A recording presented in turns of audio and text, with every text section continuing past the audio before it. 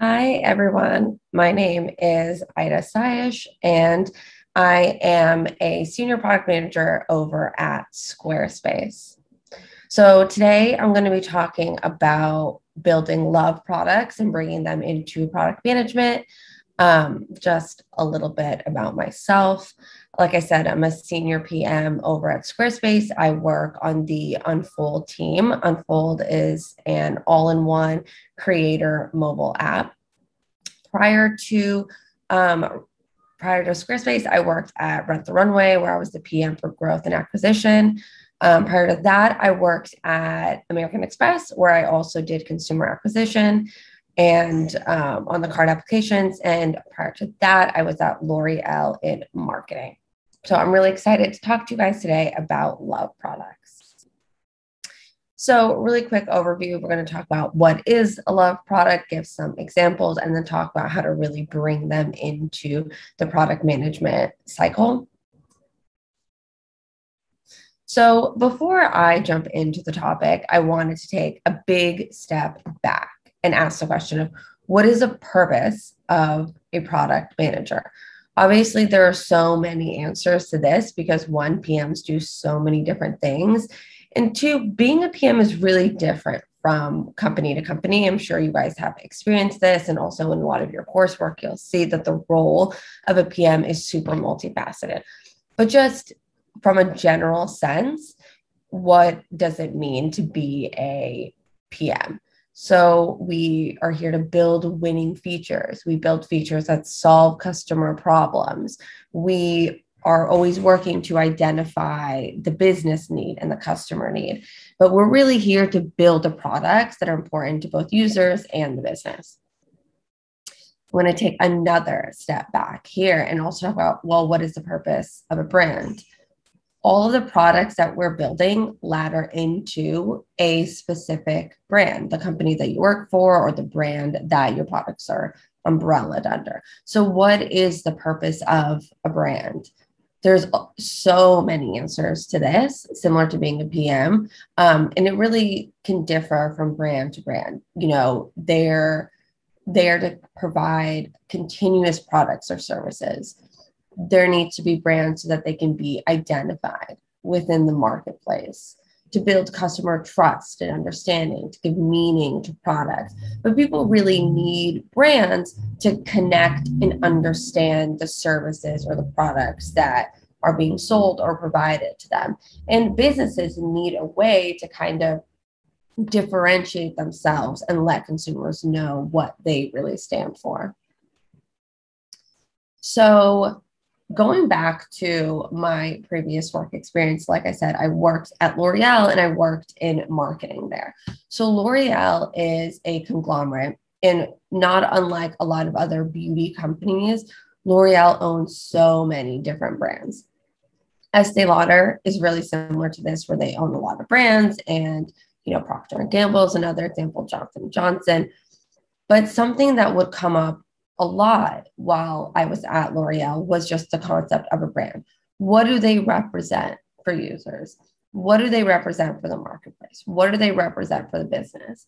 You'll see here L'Oreal really, you know, subdivides the different brands that they have based on where they kind of sit in the market.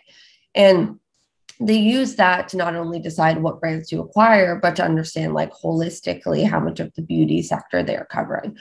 But this concept of brands and the meaning of brands was in everything that they did. And it was really, really important to them and to that industry. So, something that was really core to that experience in doing marketing or product development, which is creating actual physical products at L'Oreal, was this concept of love products. And this really stuck with me throughout my career when I moved into product management. It is something that they would talk about constantly. It was really core to L'Oreal's mission and their strategy. They were not just trying to build brands that could sell a product. They were building brands that wanted to create an experience and a lifestyle that users could love on an ongoing basis. So when they would be acquiring a brand or talking about branding or talking about a new product they were creating, they were really often talking about, well, is this going to be a love product? An example for L'Oreal of a love brand is Maybelline. Maybelline is really like at the core of a love brand. Some of their products that are really, you know, innate to the brand and really famous for are baby lips or Great Lash. People absolutely truly loved these products. They you know, people will use Great Lash for years and years and years and are real advocates of it. Or Baby Lips, people would go to many different stores to buy the different colors. Essie is another love brand for L'Oreal. People go crazy over Essie. They get excited over the different colors and the names of the colors, and they're really excited for when a new color comes out or when they have a partnership. Um, Garnier makeup removing wipes. So Garnier invented the makeup removing wipe and it really changed the beauty industry. And a lot of people are incredibly loyal to this original product. So this concept of a love brand is something that I thought about a lot as a PM. And something to point out is that L'Oreal was never naive about how important love brand is. You cannot be a love brand for everyone, but it should always be your goal to create a love brand for who you've specified are important users to you. So, what is a love brand? Love brands are the ones in your life that you are loyal to, the brands that people would use to describe you or you would describe yourself and the things you love with this brand. You are an advocate for this brand. You were t- always telling people about it. You're referring people to this part. It always excites you when they release new things.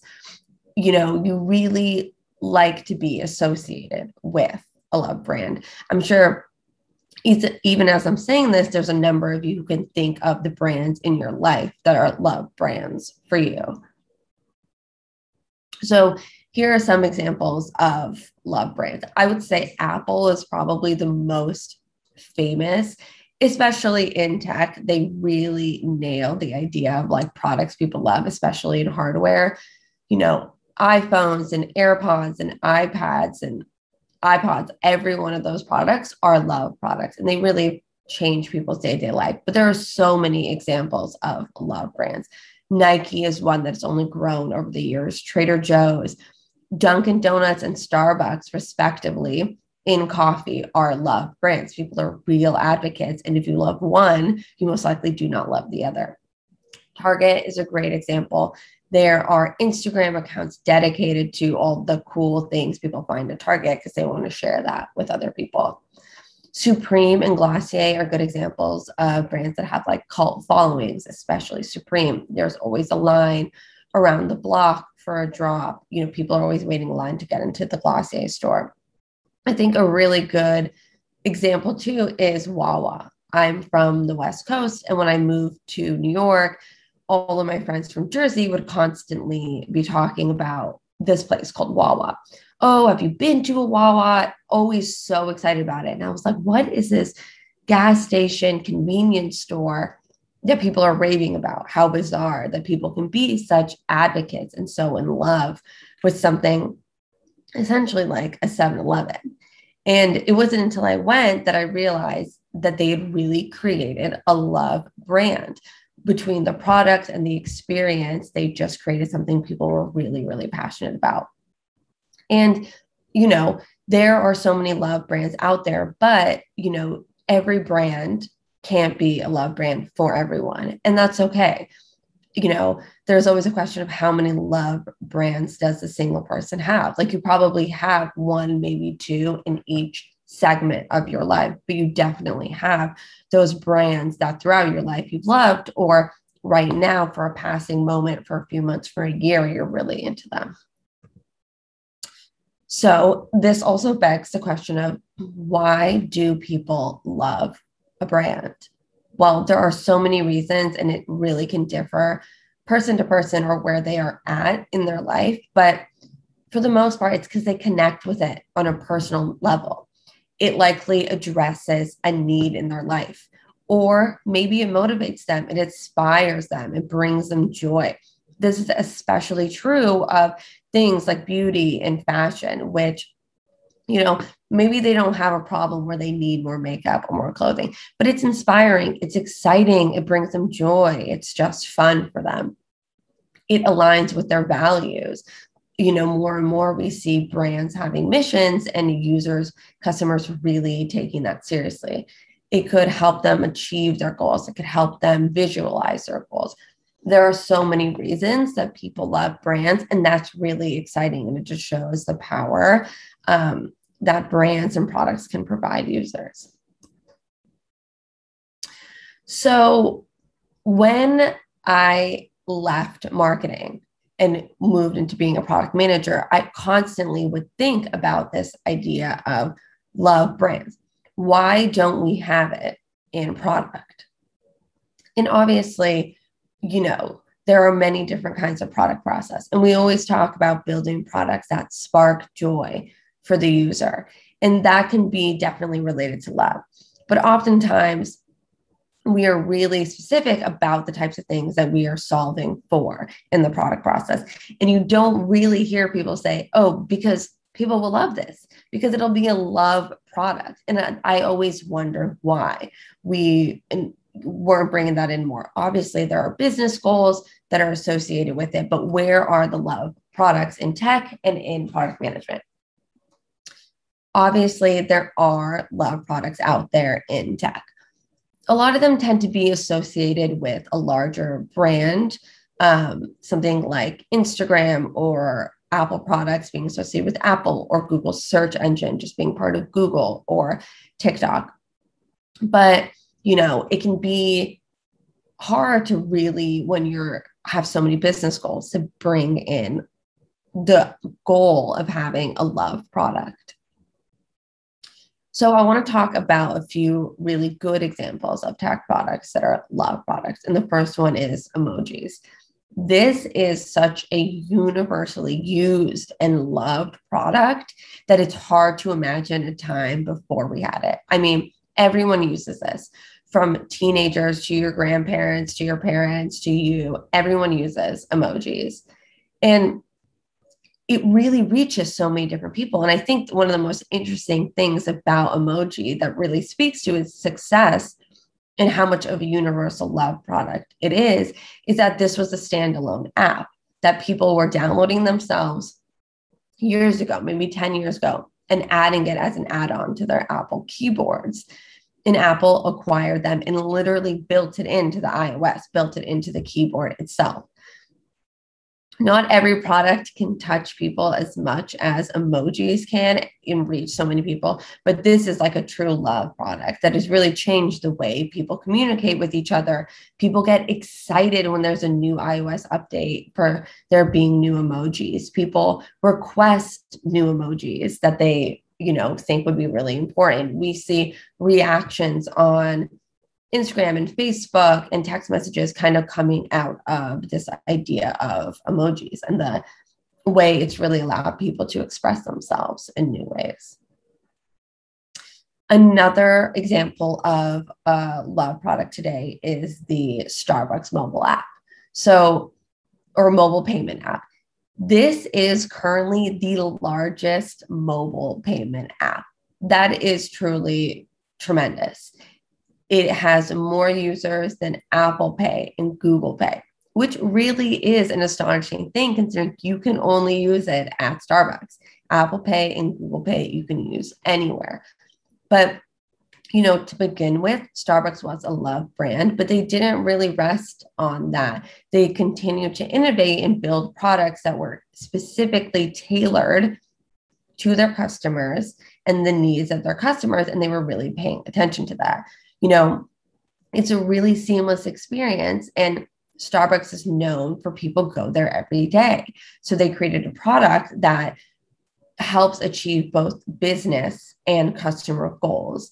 Um, and something that's really unique that both users and the business really benefit from is these auto cash refills. So, unlike Apple Pay or Google Pay, where you are only, you know, in that moment, you're getting charged like a credit card, Starbucks is taking $20 and holding it like a bank for you. So that's good for their business because now they have your money.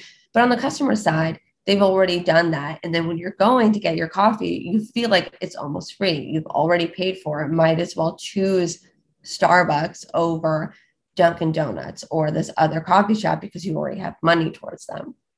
And they have a rewards program built in. You can order in advance. And they really took a moment to think about what are the business goals here, but how can we create a product that people love when we already know they're coming into our stores every day? How can we enhance that experience for them? Um, so, how do we build products that people love? How do we bring that into the product process? The first part is really in the discovery and ideation phase. This is really where it's important to be thinking about love and the role of the customer. So, there is a quote from Steve Jobs that I think is really relevant here.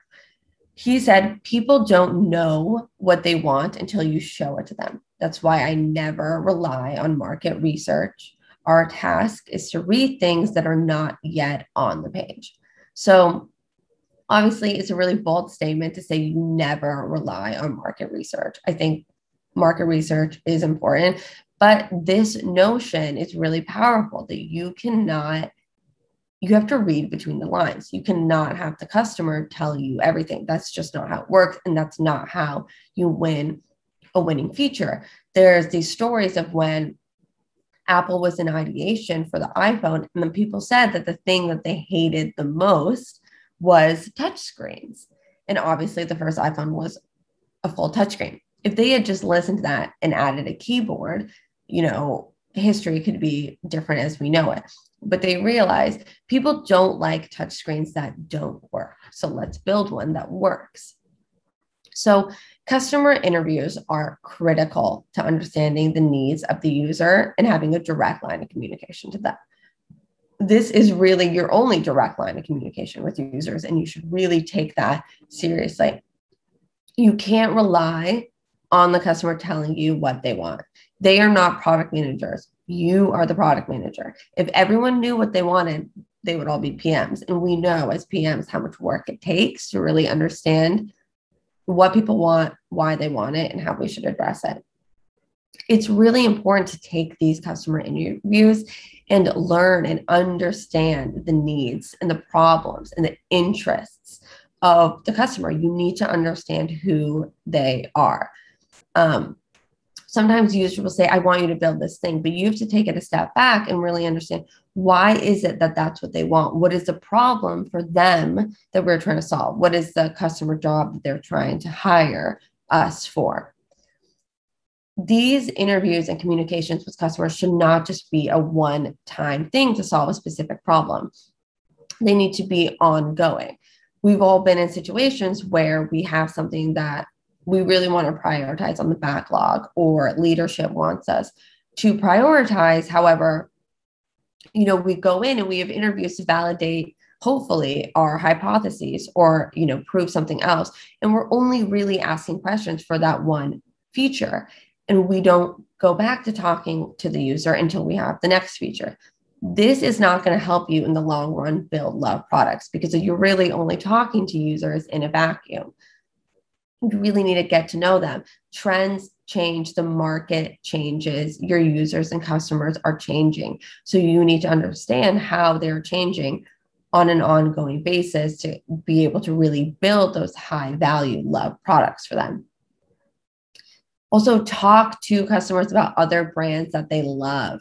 This is a really great way of understanding who they are and where is the success of other brands that they love. Next time you're at a dinner party and someone is raving about a product, engage with them and try to really understand what is it that you love so much about that product. Try to understand what is that stands out to people and think about how you can bring those things into your own products. The next piece here is to look outside of the business building products that are loved really requires PMs to look at the marketplace as a whole. You cannot, obviously, it's important to look at competitors in your space, but it is just as important to look at other industries and figure out what is going on there. Trends in other industries can downstream impact your feature or just what users now expect from the brands and products that they interact with. Every day, your customer is interacting with hundreds of different brands and different products your product needs to fit within the larger ecosystem of their lived experience. So you can't, it will really leave you blind to think that about your product just as okay, when my user uses this product or is trying to discover this product just in that realm. You just think about how does it fit into their larger life and their larger day and the other brands that they interact with and the other features and the other apps and websites that they are on every day. And like I said, look to other love brands. There is so much that you can learn. And you might think, like, oh, what could I learn from Dunkin' Donuts or from um, Supreme? But you can really look to what is the relationship that they're building with the customer? What are they invoking in them that draws love? Design with empathy. So we talk so much as PMs about user empathy. All PMs have to have user empathy. But what does that really mean? Simply talking to a user is not going to drive user empathy. You have to put yourself in the shoes of the user. Obviously, most of the time, you might not be building a product that is for you, but you can think about the product that you love that bring value to you and use that mindset to kind of click into your prospective customers and clients always try to channel those feelings, and that is what will help you have user empathy. Love products should do more than just bring value for a moment or solve a problem for a moment. They continue to inspire and excite users on an ongoing basis. And continuously check in to make sure that you're thinking through the lens of the customer. So, I mean, at every single phase, really check in with yourself and say, did I make this decision as though I was like in the shoes of the customer, thinking about the problems and the life that they have that I kind of been determined earlier in this process. So continue to really check in. So when you've moved out of discovery and ideation and now you're in the build phase, working cross functionally is going to be a huge part of this. Obviously, as PMs, you know, you can never build a product alone. You know, it takes tons of cross functional effort to build a product. But that being said, a love product takes even more, and getting everyone really bought into this concept of a love product will take a ton of effort as well and cross functional work. Marketing is key your product marketing um, counterparts are so critical.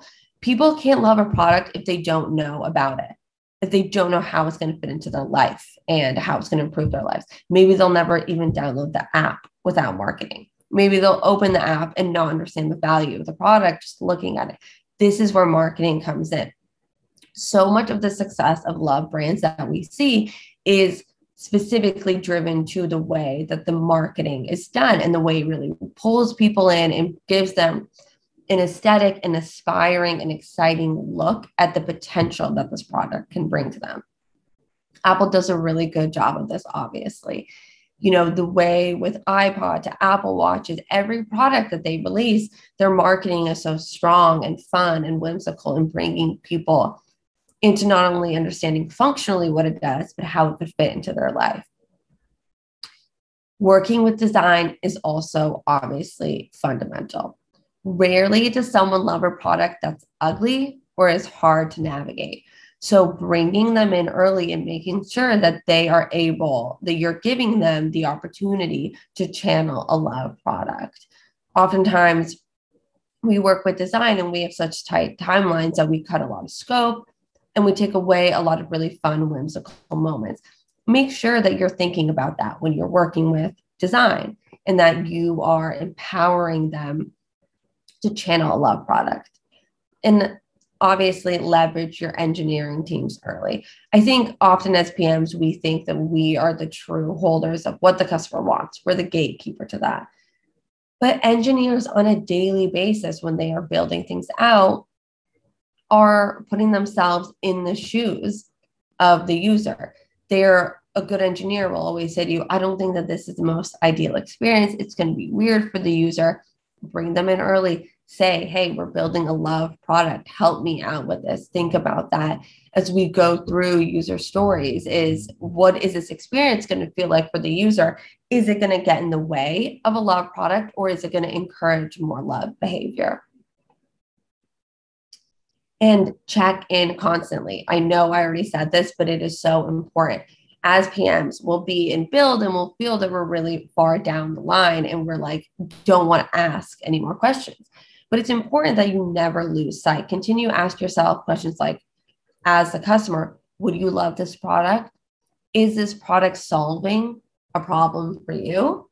Does this product excite and inspire you? Like I said, obviously, not always is a product going to be something that you use, but at this stage, you should already have done that work through customer interviews and user empathy to really put yourself in the shoes of the user and know what it is that they want that enables you to create that love product and put yourself in the shoes and ask questions like, Would I love this? Does this excite me? Does it inspire me? Things like that. So, in summary, you know, there is room to bring love products into product management. It might not be in your product process now. It might not always make sense for every single feature that you build, but there is room for it. And it's important to understand that building a love product will always help you reach your business goals and your OKRs. Because the better the product is, the more love users have for it, the more likely you are to increase retention and conversion, acquisition, you know, keys or actions, things like this that are really important to the business. So don't think about love products or creating with that lens as deterring you away from, you know, achieving your business goals. And the second key takeaway here is get to know the customer and think about their overall experience. You can never know your customer too well, but make sure that you are not relying on them to tell you the answer. And if you spend enough time talking and engaging and having empathy for your customer, you will understand what it is that needs to be built. You will not feel as though you have to build exactly what it is that they might be asking for. All right. Thank you so much. And I hope that you guys get to build a love product soon in the future.